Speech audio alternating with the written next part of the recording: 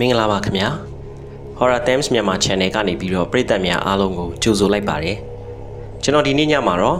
စာရေးဆရာကြီးဖိုးကျော်ရေးသားခဲ့တဲ့အနောက်မြောက်ဖျားကသွေးစားပိတ်တာကြီးဆိုတဲ့တဲတရင်ဖူမုတ်ဆိုးဇလန်လေးကိုစာအဆုံးတင်ဆက်ပေးတော့မှာပဲဖြစ်ပါတယ်ခင်ဗျာကျွန်တော်တို့ channel ကနေပြီးတော့တရေပီတာနဲ့တဲတရင်ဖူလျှို့ဝှက်ဆန်းကျဲအတန်ထွက်ဇလန်ကောင်းလေးများကိုပုံမှန်တင်ဆက်ပေးနေတာမို့လို့ channel လေးကို subscribe နှိပ်ခဲ့ကြပေးဖို့အတွက်ပရိသတ်များကိုမေတ္တာရက်ခံပါရစေခင်ဗျာဟုတ်ကဲ့အနောက်မြောက်ဖျားကသွေးစားပိတ်တာကြီးဆိုတဲ့မုတ်ဆိုးဝတ္ထုဇာတ်လမ်းလေးကိုနားဆင်ခံစားကြည့်ကြပါအောင်နော်နေရာကတော့မြန်မာတရုတ်အိန္ဒိယနိုင်ငံသုံးခုရဲ့နယ်စပ်ဖြစ်ပါတယ်မြန်မာနိုင်ငံရဲ့အမြင့်ဆုံးတောင်ဖြစ်တဲ့ခါကာပူရာစီတောင်ကျောနှင့်ဆက်ဆက်နေပြီးတော့အိန္ဒိယနိုင်ငံရဲ့ဟိမဝန္တာတောင်တန်းများနှင့်လည်းဆက်ဆက်နေပါတယ် တိဘက်ကုန်းမြင့်မြင့်ရဲ့အစီယာတောင်တန်းကြီးကတော့အနည်းဆုံးနေရာပဲဖြစ်ပါတယ်မြန်မာနိုင်ငံရဲ့အနောက်ဖြားအစွန်းဆုံးနေရာဖြစ်ပြီးတော့ထိုရက်ဒေတာဟာရာသီဥတုကြမ်းတမ်းပြီးအပြောင်းအလဲမြန်လာပါတယ်အေးတဲ့အခါတွေမှာရေခဲအောင်အေးပြီးတော့ပူတဲ့အခါတွေမှာလည်း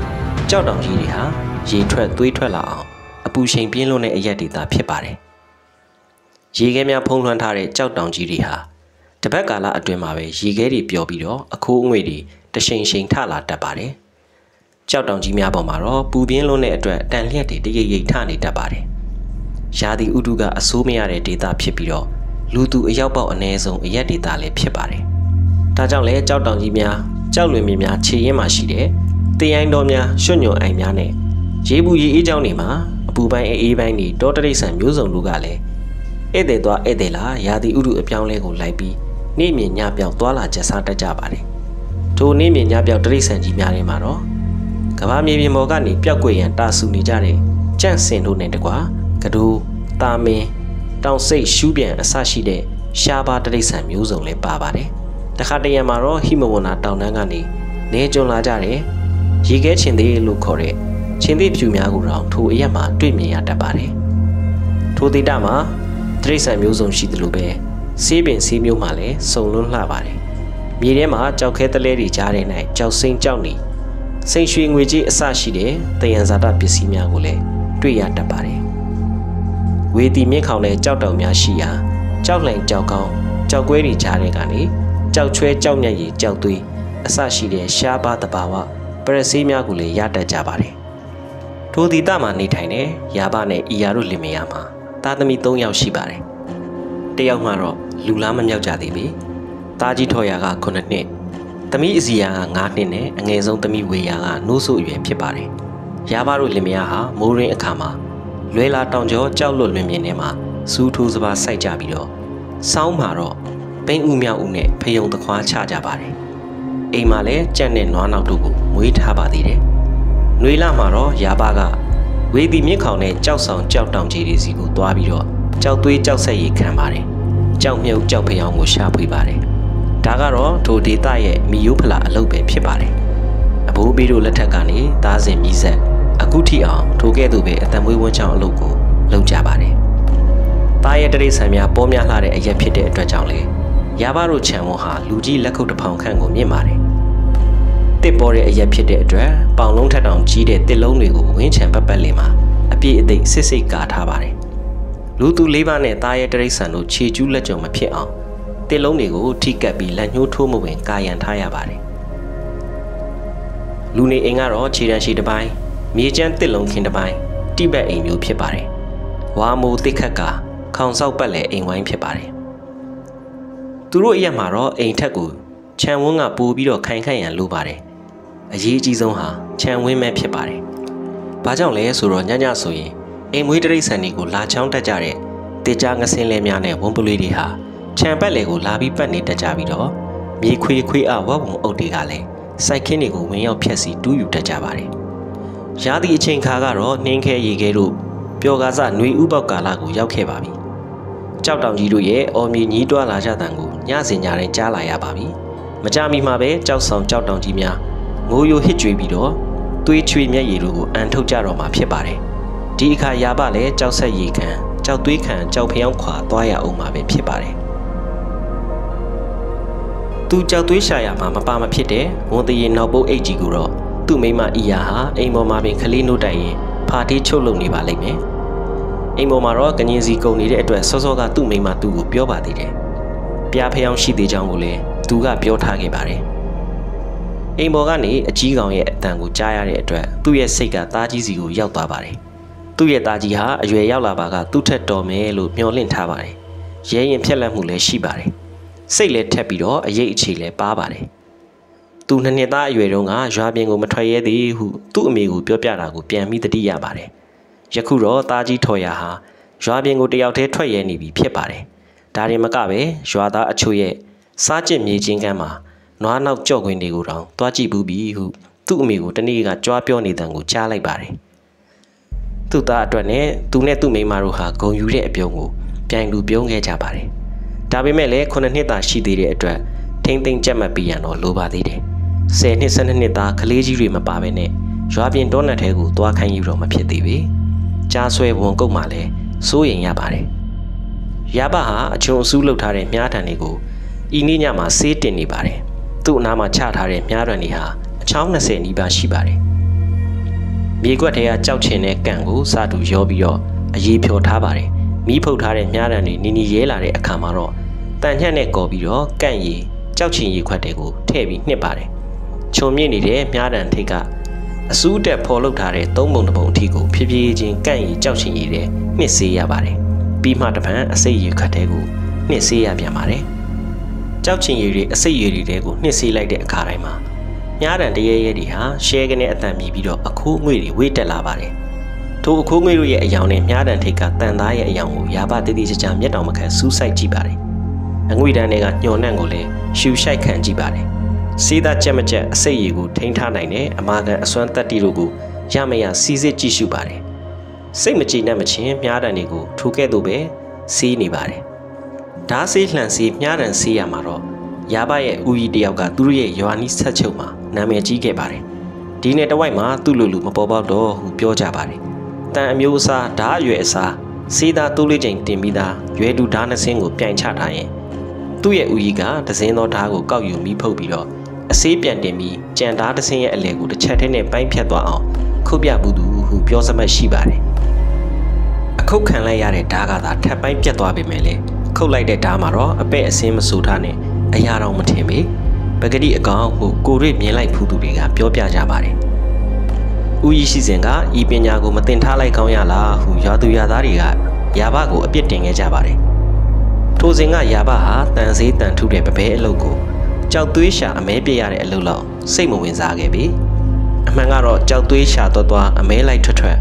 အစေးမာတဲ့မြားတံမြားချောင်းတွေမိမြအရေးကြီးချောင်းကိုယာဘကမသိတတ်သေးခဲ့တဲ့အတွက်ဖြစ်ပါတယ်။ယခုအချိန်တိတက်လိုချင်တဲ့အခါမှာတော့ဦးကြီးကလူပြည်မှာမရှိတော့ပြီ။ဒါကြောင့်လေယာဘကိုရွာသားတွေကအပြစ်တင်ကြခြင်းဖြစ်ပါတယ်။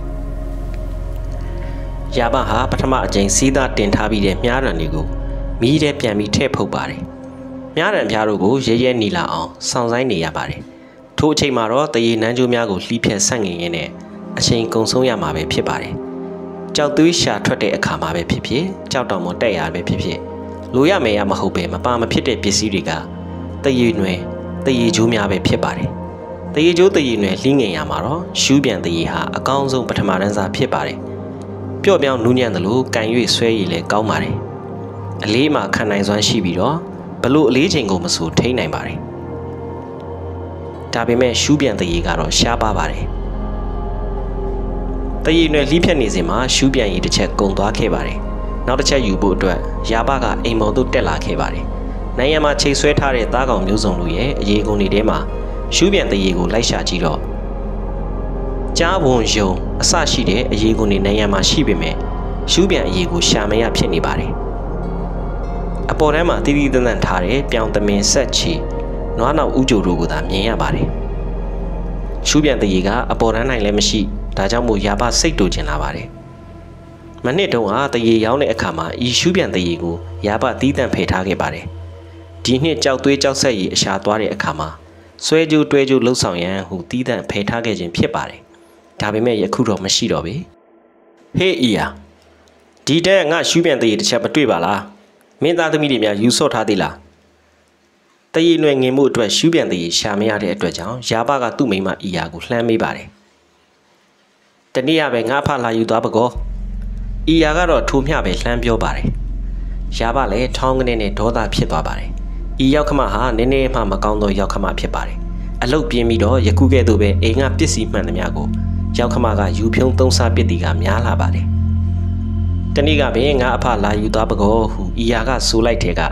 ရာဘတိလိုက်ပါပြီ။လောပန်ကုံဝယ်များသူတို့ရွာကိုရောက်နေကြလိမ့်မည်။ဒီယာဒီဟာမုတ်ဆိုးများအမဲလိုက်သားကောင်ပြည့်ပရာဆေးရှာရန်တာဆူနေကြတဲ့ယာဒီပွင့်လင်းယာဒီကိုယာဘကတော့ကုံဝယ်များနဲ့အပေါင်းအသင်းမဖြစ်ပေယာဘလည်းမတိမတာအန်ကျိတ်လိုက်မိပါတယ်သူ့ရောက်ခမကိုမကျေနပ်တယ်လို့သူ့မိန်းမကိုလည်းအခါပေါင်းများစွာမကြေမနက်ဖြစ်ခဲ့ရပါတယ်နောက်ရက်တော့ကြောက်သွေးရှာရန် ယာဘရွာကထွက်လာပါတယ်ကြောက်သွေးရနိုင်တဲ့ဒေတာဟာရွာနဲ့ဝေးလံတဲ့အရက်မှာရှိပါတယ်ယာဘတို့ရွာနဲ့အသားအပြန်၃လရက်ခရီးခံရှိပါတယ်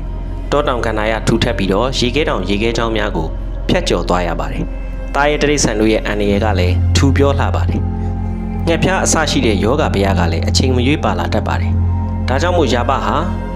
မုတ်ဆိုးလွယ်အိတ်ကြီးထဲမှာစားနပ်ရိတ်ခါမတိုးထမင်းမတိုးဟင်းနဲ့လက်နက်ကရိယာဆေးဝါးတို့ကိုအစုံထည့်ပါတယ်။ မုတ်ဆိုးတယောက်မှမပါမဖြစ်တဲ့မိခတ်ကြောက်မိကူဝါခွန်မိပိုဝါကျော်ဆရှိသည်တို့ကိုတောတက်မုတ်ဆိုးတယောက်အတွက်အစင်အလာမပါမဖြစ်အရေးတကြီးပစ္စည်းများဖြစ်ပါတယ်။တစ်သားမိချင်းနဲ့ဓာတ်မိချစ်တို့ဟာဥရုသုံးပါးစလုံးမှာသုံးရွေးမရပြီ။ဒါကြောင့်လဲမုတ်ဆိုးတို့ကသုံးလေတုံထမရှိကြပြီ။ဓာတ်မိချစ်ရမ်းမိချစ်တို့ကတော့နှင်းတော်ရေခဲထဲမှာထုံးမရသလိုတစ်သားမိချစ်ဟာလည်းတန်လျက်ထနေတဲ့ကြောက်လွင်မြက်မှာအလိုလိုမိထတောက်တတ်ပါတယ်။ ယခုရာပသွားမယ့်နေရာကတနေ့ရေခဲတော့တနေ့မီးလျံတော့ဖြစ်ပါတယ်။ရာသီဥတုဟာ၃လရက်အတွင်းမှာတနေ့တစ်မျိုးဖောက်ပြန်တတ်တဲ့အရက်မျိုးဖြစ်ပါတယ်။နောက်ပြီးတော့အရေးကြီးဆုံးအစားအသောက်ဟာစားဖြစ်ပါတယ်။စားပါရင်တော့ဘလို့အစားအစာကိုမဆိုစား၍ဖြစ်ပါတယ်ကြက်ငှက်သားအစိမ်းကိုတော့စားလူပြီးတော့စားနိုင်ပါတယ်မိဖုတ်မိခင်မိစားတဲ့အခါမှာလည်းစားပါမှပဲကောင်းလာပါတယ်စားနဲ့မိပါရင်တော့မုတ်ဆိုးတယောက်အတွက်လုံလောက်ပြီပဲဖြစ်ပါတယ် ဘယ်နေရာကိုရရောက်မုတ်ဆိုးတယောက်အတွက်သားငါကမရှာတမင်တရေခြေငယ်ဆိုင်ဆက်အစရှိတဲ့သားကြီးသားများစားမလားကြက်ငှက်ဖုတ်ပတဲ့အစရှိတဲ့သားကောင်ငယ်များကိုစားမလားဒါမှမဟုတ်လဲအသားဟင်းရကိုဖမ်းဆီးပြီးတော့မစားခြင်းရင်တိတိတိဥတင့်မြဲအစတာတွေဟာဘယ်နေရာရောက်ရောက်ရာသီအလိုက်အပြုတ်လိုက်အခိုင်လိုက်မုတ်ဆိုးတွေအတွက်တော့သာဝရတီးကင်မှဲ့ဝင်းလို့နေပါတယ်ကြောက်သွေးရှာသွားရတာကဘယ်လိုအန်ရနဲ့တွေ့ပြီးတော့ကာလမြင့်မြကြာမီမသိတဲ့အတွက် စားရည်ရိတ်ခါယူလာပေမဲ့ထမင်းအတွက်တော့စံတစည်းမှမပါပြီကောင်းချင်းမောင်းကိုတစ်သားစုံထဲမှာထည့်ထောင်ပြီးတော့အပြားအချက်လှုပ်လို့နေကြကြလှမ်းထားတဲ့ရိုးရာမတိုးထမင်းခေါ်ပြင်အနှင်းငယ်သာပါလာပါတယ်ခေါပြင်ဟာချက်စားဖို့မလို့မီးကင်လိုက်ယုံနဲ့စားရွေရပါတယ်။ဝါကြည်တောင်မှာရေထဲပြုတ်လိုက်ယုံနဲ့လေကြက်ပြီးသားဖြစ်သွားပါတယ်။ဒါကြောင့်မို့မုံဆိုးများဟာစံအစာရိုးရာခေါပြင်ကိုသာမတိုးထမင်းအဖြစ်ယူဆောင်သွားလေရှိကြပါတယ်။ ရပါလေတောကိုဖြတ်တောင်ကိုကြော်လာခဲ့ပါတယ်။ဒီလိုနဲ့တနေရာမှာကြောက်သွေးကြောက်မြုပ်များစီးကြလာရာကြောက်ဆက်ရည်တို့ထွက်ရာကြောက်တောင်ကြောက်ဆောင်များခြေရင်တစ်ခုကိုရောက်ရှိလာခဲ့ပါတယ်။နေညိုသွားချိန်မှာတော့စခန်းချမယ့်နေရာကိုရပါဥစာရှာဖွေရပါတယ်ဒီအရက်ဟာတာရဲတရိษံများပေါ်သောအရက်ဖြစ်တဲ့အတွက်မိုးမချုပ်မီစခန်းချမယ့်နေရာကောင်းကိုရှာထားမှဖြစ်ပါလိမ့်မယ်နေရာကောင်းအမိကောင်းကိုရရင်သူဟာဤနေရာမှာ6ရက်တစ်ပတ်ခန့်ကနေ တလလောက်ဝက်ထိနေပြီးတော့ကြောက်မြုပ်ကြောက်ဆက်ရည်ကြောက်သွေးကြောက်ဖျောင်းများကိုစူဆောင်းရမည်ဖြစ်ပါတော့တယ်ကြောက်တောင်ကြီးတကြောမှာရှိတဲ့နေကာလေးကာကောင်းသောမတိမ်မနက်မကျင်းမကျဲလှိုင်ကောင်းတစ်ခုကိုတွေ့ရတဲ့အခါမှာတော့ထိုနေရာမှာစခန်းချရန်ရာဘဆုံးဖြတ်လိုက်ပါတယ်ရာဘဟာဘူးခါရီတဲကရေကိုတဝါကြီးတောက်ချလိုက်ပါတယ်ခဏတော့ဝန်းမီကငိမ့်သွားပါတော့တယ်ဒီလိုပူပြင်းလာတဲ့ຫນွေရင်တမရမှာဘူးခါရီတဲကရေကိုတောက်လိုက်ရခြင်းက ကြောက်ဆက်ရေကိုတောက်လိုက်ရတဲ့ကဲ့သို့ပဲတကူလုံးအေးမြလန်းဆန်းသွားတော့တယ်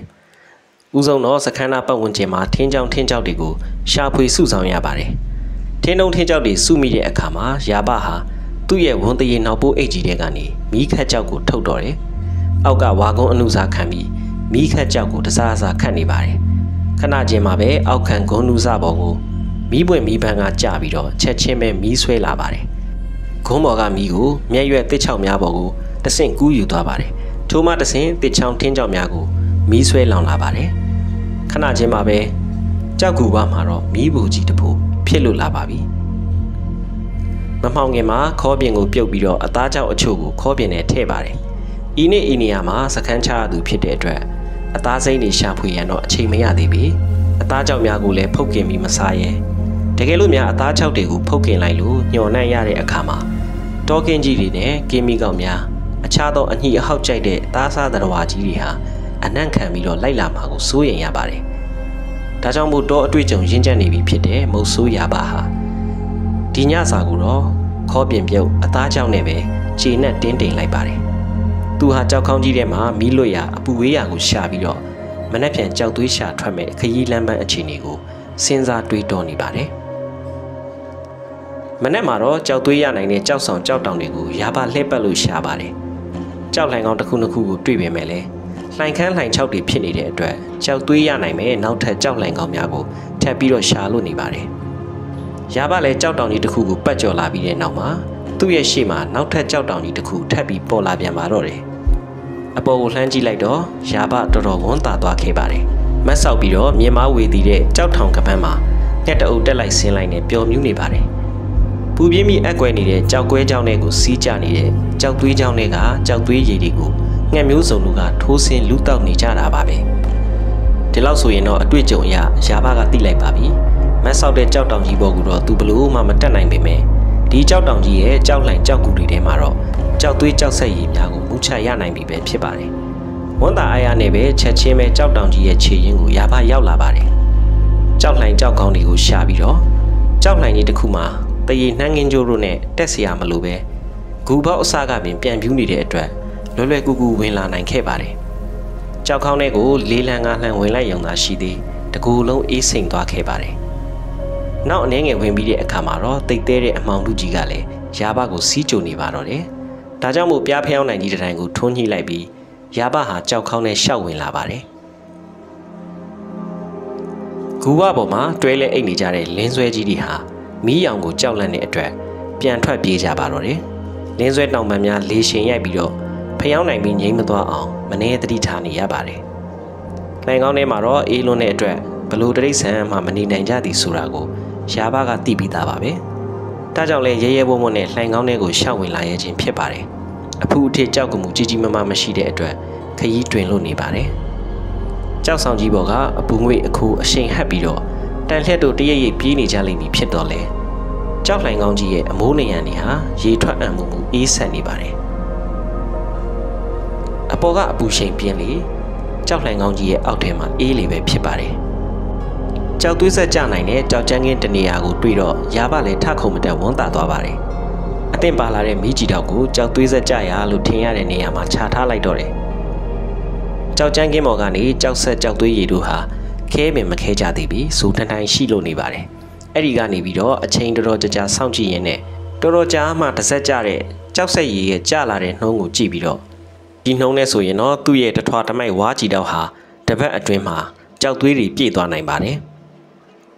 ဒါကြောင့်မို့လဲယာဘဟာဝန်တာအာယာဖြစ်နေရကနေတကူလုံးကျင်ဆက်အေးခဲလာတော့မှပဲတတိယပြီးတော့ကြောက်လှိုင်ကောင်းတွေကနေပြန်ပြီးပြေးထွက်လာပါတယ်ကြောက်တောင်ကြီးနဲ့မနီမဝေးတောထဲမှာသားကောင်ရှာပြည့်ရင်တရေကုန်ခွာရင်းနဲ့ ရပါလဲကြောက်သွေးခံထားတာကိုစောင့်နေပါတယ်။သုံးရက်မြောက်တဲ့နေ့မှာတော့ကြောက်သွေးချင်းရဲ့အခြေအနေကိုသွားဝင်ကြည့်ပါတယ်။မြင်ရတဲ့မြင်ကွင်းကြောင့်ရပါလဲရင်ကွဲပက်လက်ဖြစ်ပါပြီ။ကြောက်သွေးဝါးကြည့်တော့တွေဟာတဝက်ခန့်လောက်ရပြီဟုထင်ထားပေမဲ့အားလုံးပျက်စီးခြင်း၅ပါးတိုင်လို့နေပါတယ်။ကြောက်သွေးခံထားခဲ့တဲ့သူ့ရဲ့ဝါးကြည့်တော့ဟာလဲနေပြီးတော့အစိတ်စိတ်အမှောင်မှာကွဲလို့နေပါတယ်။ရခင်ကကြောက်ကြမ်းကင်းပေါ်မှာဆေးပစ်နေခဲ့တဲ့ကြောက်သွေးများရဲ့အစအနကိုတော့ လုံးဝမမြင်ရမတွေ့ရတော့ပြီဖြစ်ပါတယ်။ဒေါသပောက်ကွဲနေတဲ့ရာပါဟာမုတ်ဆိုးအန်ကျိတ်နဲ့ခြေရလက်ရများကိုတည်တည်ချာချာလေ့လာရှာဖွေပါတယ်။သူကဲ့သို့ပဲအနီးနားတစ်ဝိုက်ကကြောက်သွေးရှာသူများရှိနေပြီလား။ထို့သူကပဲရာပါရဲ့ကြောက်သွေးခြင်းကိုလာခိုးလေသလားလို့တွေးပါတယ်။ဒါပေမဲ့လည်းထိုတွေးဆချက်ကတော့မဖြစ်နိုင်။အစင်လာထုံးစံလည်းမရှိပေ။ကြောက်သွေးရှာတဲ့မုတ်ဆိုးတွေဟာအလွန်ပဲတစ္ဆာကြီးကြပါတယ်။ သူတစ်ပါးဥထားတဲ့ပစ္စည်းကိုခိုးဝှက်ယူရန်မဆိုထားနဲ့တစုံတဦးသောမုတ်ဆိုးတို့ကဝင်ကြည့်သွားပြီးဟုသိရတဲ့ကြောက်ကူကြောက်လန့်များဘက်ကိုခြေဥပင်မလှည့်ကြပေ။မုတ်ဆိုးတိတ်ခါလည်းအကြမခံတတ်ကြပေ။ယခုသူ့ရဲ့ကြောက်သွေးကိုဘယ်တော်ဝါများဝင်းရောက်ဖျက်ဆီးသွားပါလဲ။ကြောက်ကူထဲမှာနေလိနေထားရှိတဲ့လင်းဆွဲတွေကပြန်တန်းရင်နဲ့ဝင်တိုးတိုက်မိကြလေလားလို့တွေးပါတယ်။ဒါကလည်းမဖြစ်နိုင်ပေ လင်းဆွဲများဟာဒီလောက်အေးတက်လွန်ခဲ့ပြီးဆူဆွတ်တဲ့နေရာကြောက်ကူအထဲထဲမှာနေလေးမရှိပဲဂူကအနှွေးထက်ရတဲ့နေရာတွေမှာသာနေလေးရှိပါတယ်ဒါကြောင့်မို့ကြောက်သွေးခံထားတဲ့သူ့ရဲ့ဝါကြီးတောက်ကိုဘယ်တရိษံကောင်ကများဝင်နေမိခြေဖြတ်သွားပါလေလို့တွေးနေပါတယ်ခြေရခံကြည့်ပေမဲ့လည်းကြောက်သားကြမ်းပြင်ဖြစ်နေတဲ့အတွက်ကြောင့်အရာကမထင်ပေရပါလေဝါကြီးတောက်အစ်စ်တစ်လုံးနဲ့ကြောက်သွေးထပ်ပြီးခံလိုက်ပါတယ် မနေ့ပြန်တနေ့လုံးတော့ထိုးတတဝါမကောင်းဆိုးဝါးကိုစောင့်မယ်လို့ဆုံးဖြတ်ပါတယ်ဒီနေ့တော့အချိန်မရတော့ပြီမို့ရပါလဲဝမ်းနဲ့ကြည်ကွဲစာနဲ့ပဲစခန်းကိုပြန်လာပါတယ်ကြောက်သွေးကြောက်ဆက်များကိုနှမျောတသားတဲ့စိတ်နဲ့တညာလုံးအိမ်မရဖြစ်နေပါတယ်ရပါဟာတပူပူနဲ့အတန်မြီနာကိုတဲ့တဲ့ကြားနေရပါတယ်အတန်ကတဖြည်းဖြည်းဝေးရာကနေပြီးတော့နီးလာခဲ့ပါတယ်တဲ့တဲ့မြကြားရာကနေကြဲကြဲလောင်လောင်ကြားလာရပါတယ် ဘာကောင်ပါလဲဘာတန်ပါလဲဒီအတန်မျိုးကိုသူတခါမှမကြားဘူးဘလို့တရပါပါလဲအလင်းမြန်တွေးပြီးတဲ့နောက်အုံနှောက်ထဲမှာအလုရှုပ်နေရပြီဖြစ်ပါတယ်တကူလုံးရှိတဲ့အကြအမြင်အာယုံများကိုငယ်ရိတ်တက်တဲ့မှာထားလိုက်ရပါတယ်ရပါဟာမုတ်ဆိုးရရဲ့တမာတိနဲ့ပဂတိခံကြည်စွာမတုံမလှုပ်သူ့ကိုယ်ကိုတည်ထားလိုက်ပါတယ်အသက်မရှိတဲ့ကြောက်ခဲတစ်လုံးတင်းငုတ်တငုတ်ကဲ့သို့မလှုပ်မရှက်ငြိမ်သက်ပြီးစောင့်လို့နေပါတယ် တပူပူနဲ့ကြားနေရတဲ့အတန်နဲ့အတူမြင်လိုက်ရတာကတော့အလွန်တရာမှကြီးမားလှတဲ့ဟိမဝနာကြန့်စင်ထီးကြီးတစ်ကောင်ပဲဖြစ်ပါတယ်ကြောက်သွေးကြိုက်တဲ့ကြန့်စင်ကြီးဟာတပူပူနဲ့အော်မြည်ပြီးတော့ဘဲသားရဲ့တရိษံကိုမှမမှုလေဟန်နဲ့ကြောက်တောင်ကြီးစီကိုတိတိမမတ်လာနေပါတယ်ကြန့်စင်ကြီးရဲ့အမြင်ဟာလူကြီးလက်ခုပ်တစ်ဖောင်ခန့်ရှိပါတယ်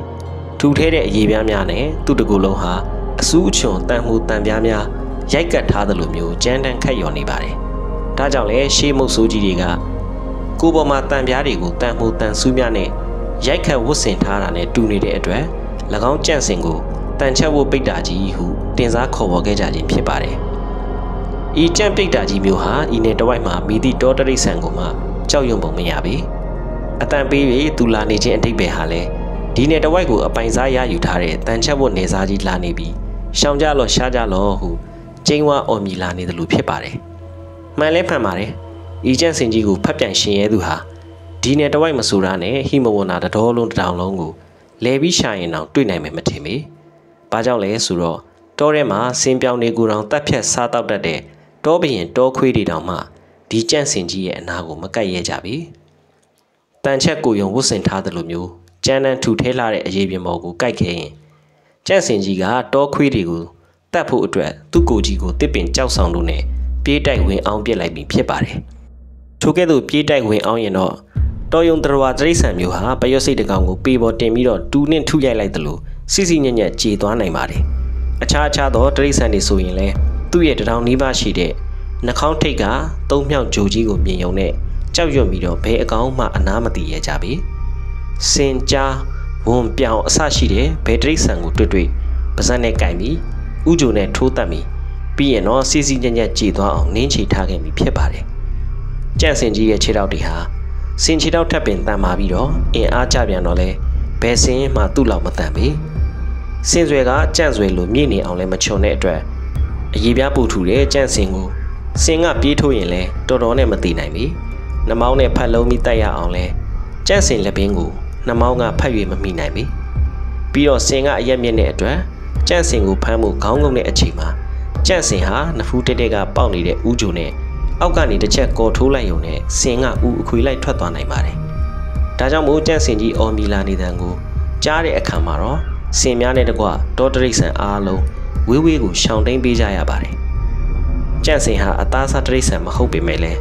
ဒေါသအလွန်ကြီးပါတယ်။ဘယ်တရိတ်ဆန်ကိုတွေ့တွေ့တွေ့မရှောင်တိုက်ခိုက်တတ်ပါတယ်။ကြန့်စင်ရဲ့မျက်စိနှစ်ကွင်းဟာအနီးမှုန်ပြီးတော့အဝေးမမြင်ရတဲ့တရိတ်ဆန်မျိုးဖြစ်ပြီးဒေါသတကြီးပြေးလာလို့ရှိရင်ဘယ်သားကောင်ကို ဘယ်အရာဝတ္ထုကိုမဆိုဝင်တိုးပြီးတိုက်တက်သွားပါတယ်အင်အားကြီးမားပြီးတော့ထွားကျိုင်းလာတဲ့သူ့ရဲ့ကိုလုံးကြီးကိုအမတန်ယုံကြည်အားကိုးတဲ့တရိษံမျိုးလည်းဖြစ်ပါတယ်မျက်စိသာမှုန်ပေမဲ့လည်းနားပါပြီးတော့အနံ့ခံလည်းကောင်းပါတယ်ဒါကြောင့်မို့လူကိုမမြင်ရမီတဲ့ကကြန့်စင်ဟာအနံ့ခံပြီးတော့ရာဘရှိရာကိုတက်တက်မမတ်ပြေးလာပါတော့တယ်သူနှစ်စဉ်စားနေကြကြောက်သွေးခြင်းကိုလာလို့ရကောင်းလားဟုဒေါသထွက်နေပုံပေါ်ပါတယ် ဤတော့ဤတောင်မှာစင်ပြောင်ကြားကြီးများကပင်ရင်မဆိုင်ရတဲ့သူကိုမလောက်လေးမလောက်စားအကောင်ငယ်ကလာနှောက်ရှက်နေရမလားဟုလဲစိတ်ဆိုးမှန်ကြီးနေပုံပေါ်ပါတယ်မမနေ့ကပင်ကြောက်သွေးကူထဲဝင်ပြီးတော့ဝါးကြည်တော့ကိုအစိတ်စိတ်အမှန်မှဖြစ်အောင်နင်းချေတတိပေးခဲ့ပေမဲ့လည်းသူ့ရဲ့ရာဇသံကိုမမှုတဲ့ဤလူသားကိုအသေးသက်လိုက်တော့မည်ဟုဒေါသနဲ့ပြေးလာပါတယ်ရပါလဲကြောက်ကမှုတစ်ခုပေါ်ကိုလွှားကနေခုန်တက်လိုက်ရပါတယ် ကြန့်စင်ကြီးကလည်းတဲတဲမတ်မတ်ပဲပြေးလိုက်လာပါတယ်ဒါပေမဲ့ကြောက်ကမှုပေါ်ကိုရပါခုန်တက်သွားတယ်လို့မျိုးကြန့်စင်ကတော့လိုက်ပြီးမတက်နိုင်ကောင်းမော့အနက်ခံကြည့်ပြီးတော့ကြောက်ကမှုရဲ့အနောက်ဘက်ကိုပတ်ပြီးသွားပါတယ်ကြောက်လင်းမြင်ပြပြအတိုင်းအနောက်ကနေလှည့်ပြီးတက်လိုက်လာပါတယ်ကြန့်စင်ကြီးအနားရောက်မလာမီမှာရာဘကကြောက်ကမှုပေါ်ကနေရုတ်တရက်ပြန်ခုန်ဆင်းလိုက်ပါတယ်ကြန့်စင်ကြီးကရာဘလိုတော့ခုံမချနိုင်ပေ ရှော်ပြီးဆင်းရအောင်လဲသူ့ရဲ့ကိုလုံးကြီးကိုမထိန်နိုင်ပဲလင်းကြမှာကိုကြန့်စင်ကသိပါတယ်ဒါကြောင့်မို့ကြောက်ဆောင်ကမှုထိတ်ကနေကြောက်လွင်ပြင်အောက်ကိုရောက်သွားတဲ့ရာဘကိုဒေါသတကြီးနဲ့တစ်ချက်ငုံကြည့်ပြီးတော့တက်လာတဲ့လမ်းအတိုင်းပြန်ဆင်းသွားပါတယ်ကျန့်စင်ကြီးပြန်ဆင်းလာတာနဲ့ပဲရာဘကလည်းကြောက်ကပူပေါ်ကိုပြန်ပြီးတော့ခုန်တက်လိုက်ရပြန်ပါတယ်ကျန့်စင်ကြီးကလည်းပထမနီးသူအနံ့ခံပြီးတော့ကြောက်လင်မြင်ပြေပြေဘက်ကနေတက်လိုက်လာပြန်ပါတယ် အမှန်ကတော့ကျန့်စင်ကြီးနဲ့ရာဘတို့ဤကဲ့သို့အခက်ခောက်အခါခါပြေးတန်းလိုက်တန်းကစားနေကြတာကကျန့်စင်ကြီးကိုသူလိုချင်တဲ့ပြစ်ကွင်းထဲရောက်အောင်ရာဘကတမြင်မြားခေါ်နေခြင်းဖြစ်ပါတယ်ကျန့်စင်ကြီးဒေါသပူကြီးလာအောင်လဲစနေခြင်းဖြစ်ပါတယ်ကျန့်စင်ကြီးဟာဒေါသထွက်လာရင်တော့မျက်စိကပူပြီးမှုန်လာပါတယ်အဲ့ဒီအခါမှာပဲတည်နိုင်တဲ့နေရာကိုအနီးကပ်ရွေးပြီးပြည့်ရမှာဖြစ်ပါတယ်ကျန့်စင်ရဲ့တကူလုံးမှာတန်ချက်အင်ကြီးအပြည့်အကျက်ဝတ်ထားတဲ့အတွက် ပြစ်ကွင်းပြစ်မှတ်ဆိုတာဟာမရှိသလောက်ကိုရှားပါတယ်ရှိတဲ့မျက်စိတွေကိုမြားနဲ့ပြည့်ရလောက်အောင်လဲကြန့်စင်ရဲ့မျက်စိဟာအကောင်နဲ့မလိုက်အောင်သေးငယ်ပြီးတော့အပေါ်ကနေတွဲကြဖုံးအုပ်နေတဲ့မျက်ခုံအရေးပြားထူလချမ်းကြီးကခံနေပါတယ်ကြန့်စင်ကြီးရဲ့ကိုယ်အရေးပြားကိုမြားကလည်းမဖောက်နိုင်ပေ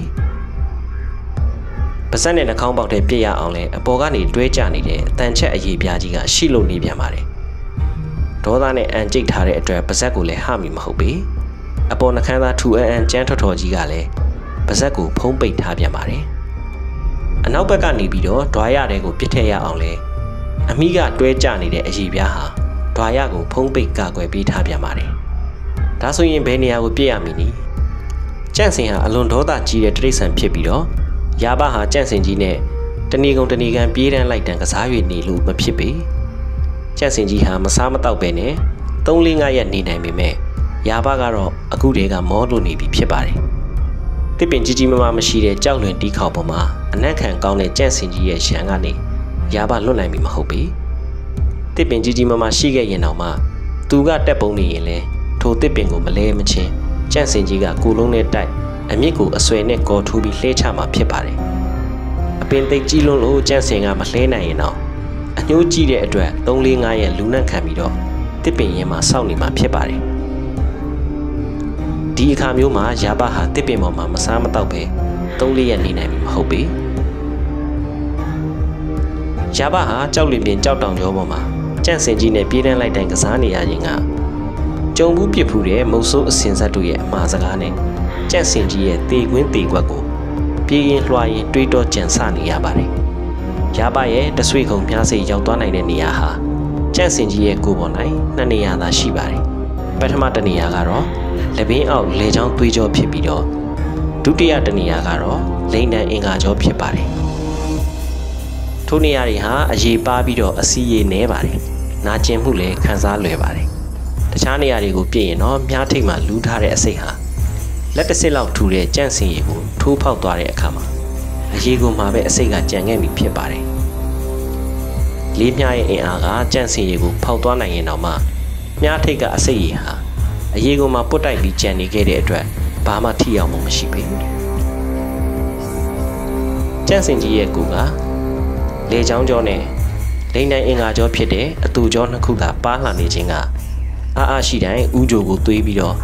လက်ဘင်းကိုတစ်ပင်ကြောက်ဆောင်တို့နဲ့နေ့စဉ်ပုတ်တိုက်လေးရှိတဲ့အတွက်ဖြစ်ပါတယ်။ဒီလိုပုတ်တိုက်နေရရင်ကြန့်စင်ဟာခံစားမှုတစ်မျိုးတာယာမှုတစ်မျိုးကိုရတတ်ပါတယ်။အဲ့ဒီလိုပုတ်တိုက်ခံစားရဖန်များလာတဲ့အတွက်လေ လေချောင်းကြောတစ်လျှောက်ရှိအရေးကြောတွေဟာပါလွှာနေတတ်ပါတယ်။နတ်ထုတ်ကြောဟုခေါ်တဲ့လိန်နံသွားရာချက်ကြောတစ်လျှောက်မှာရှိတဲ့အရေးပြားတွေပါလွှာနေရတာကတော့ကြန့်စင်ဟာယာကစိတ်မွန်နိုင်တစ်တုံးကြောက်တုံးတို့နဲ့ပုတ်တိုက်ထားတဲ့အတွက်ကြောင့်ပဲဖြစ်ပါတယ်။ကြန့်စင်ကိုဒေါသဖြစ်အောင်စနေမိရာကနေယခုတော့ကြန့်စင်ဟာရာဘထင်ထားတာထက်တောင်ပိုပြီးဒေါသကြီးလာပြီးတော့ကြောက်ဆောင်ဘောကတမင်ခုန်ချတာလားဒါမှမဟုတ်လေဒေါသနဲ့မျက်စိပူမှုံပြီးတော့ မမြင်မဆန်းနဲ့လိမ့်ကြတာလားမသိကြောက်ကမှုဘောကနေလိမ့်ဆင်းလာပါတယ်ကြောက်လွင်မြေပေါ်ရောက်တာနဲ့ပဲကမှုရှူလို့ပြန်ထပြီးရာဘကိုထိုးတိုက်ရန်ချက်ချင်းထလိုက်ပါတော့တယ်ကြံရမရဖြစ်သွားတဲ့ရာဘဟာဥတီယာမဲ့စွတ်ပြီးပြေးရပါတယ်ပြေးရင်ကနေနောက်ကိုလှည့်ကြည့်လိုက်တော့ကြန့်စင်ကြီးဟာသူ့ရဲ့နောက်ကိုထက်ချက်မကွာလိုက်လာနေပါတယ်သူ့ကိုအသေးမတက်ရမချင်းကျေနပ်မိပုံမပေါ်ပြီကြောက်လွင်ကွဲကြောင်တစ်ခုပုံကိုလွှားကနေခုံလိုက်စင်မှာတော့ရာဘအကြံတစ်ခုရသွားပါတယ် ကြန့်စင်ကြီးရဲ့ဘိန်းနုချက်အောက်ရှိလိန်အင်္ဂါကြောတဲကိုပြစ်သွင်းပြီဆိုပါကကြန့်စင်ကြီးရဲ့ဝမ်းပိုက်အောက်ကိုဝင်ရမည်ဖြစ်ပါတယ်ဒါဆိုရင်ဘလို့ဝင်ရမလဲလှဲအိတ်ချလိုက်ရင်လည်းကြန့်စင်ကနင်းတိုက်၍သူ့သေးမီဖြစ်ပါတယ်လေပင်အောက်ကလေချောင်းကျောကိုပြစ်ခွင်းနိုင်အောင်ကြိုးစားရမှာဖြစ်ပါတယ်ကြန့်စင်ကြီးရဲ့ဥကောင်းသာဝင်ပြီးတော့ကိုလုံးကြီးမတိုးဝင်နိုင်တော့တဲ့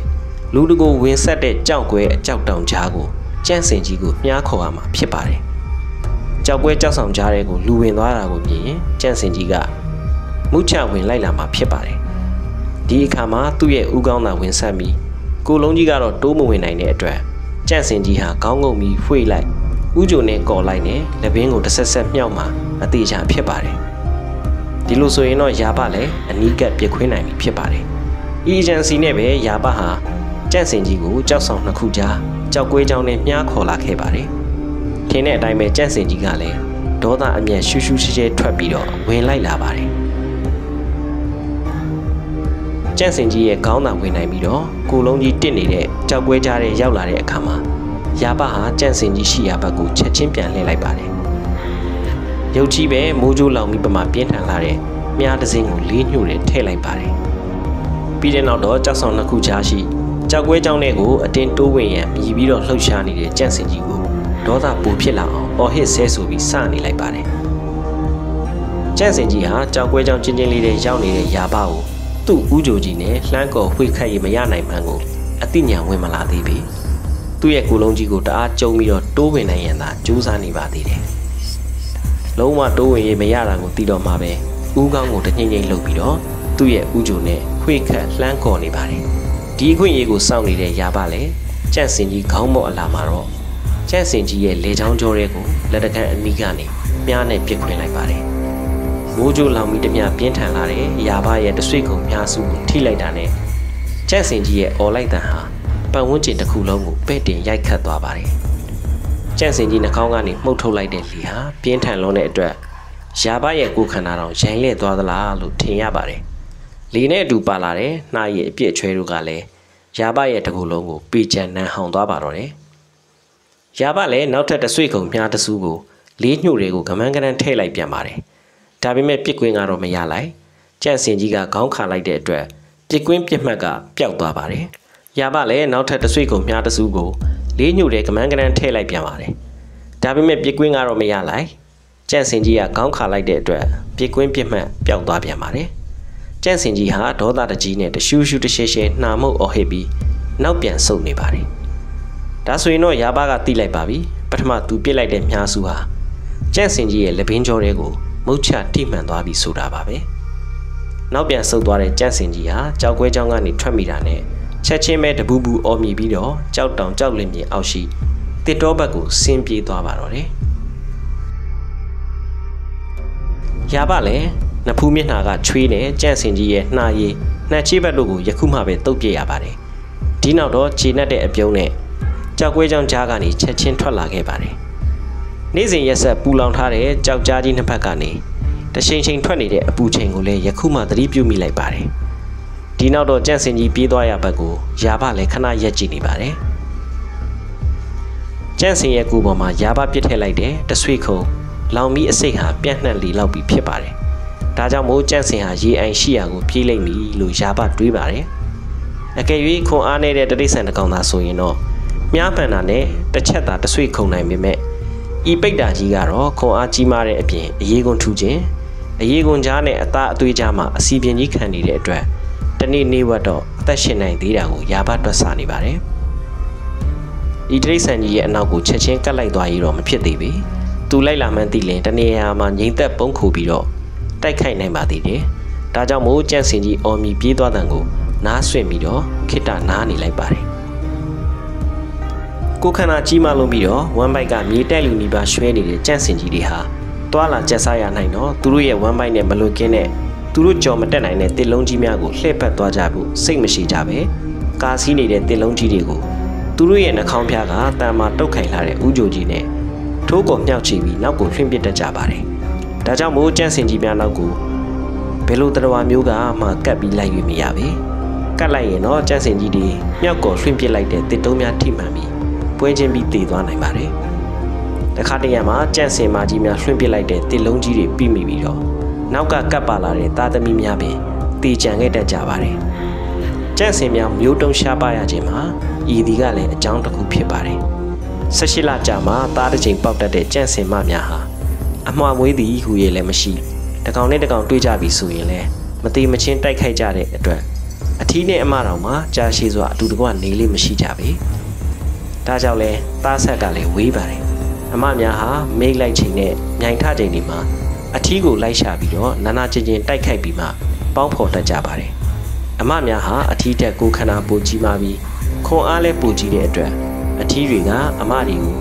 တိုက်ခိုက်ပေါင်းဖော်လာမှကြောက်ပြီးတော့ရှောင်ပြေးကြပါတယ်။ပြေးမလို့ပဲနာနာချင်းချင်းတိုက်ခိုက်ခံထားရမှပေါင်းဖော်လေးရှိကြပါတယ်။ခဏမတက်ရက်ပြီးတော့နားဆွင့်နေတဲ့ယာပဟာ ကြန့်စင်ကြီးတပူပူအော်မီတန်ဝေးသွားမှပဲကြန့်စင်ကြီးနောက်လိုက်လာပါတယ်။ကြောက်တောင်ချီရင်ကတစ်တော်အဆမှာအစိတ်မှုန်ပြီးတော့အံပစ်ခဲ့တဲ့သွေးကွက်ကြီးတစ်ကွက်ကိုတွေ့ရပါတယ်။တစ်တော်ရဲရောက်လာပြီဖြစ်တဲ့အတွက်ခြေရာကိုကြည့်လိုက်အတန်းကိုနားဆွင့်လိုက်နဲ့ဆက်ပြီးတော့လိုက်လာရာကနေမကြခင်မှာတပူပူအော်မီတန်ပျောက်သွားပါတယ်။ဒါပေမဲ့ခြေရာနဲ့တစ်ပင်ခြုံပုတ်များကို